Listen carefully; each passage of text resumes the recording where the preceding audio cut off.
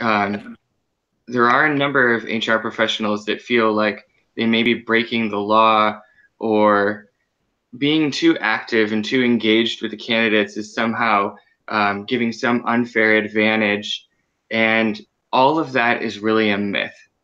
So the more that government employers actually understand the law around hiring and they understand the policies and the procedures, the more they're able to break away from those myths and become basically the best recruiter they can be. They need to be empowered.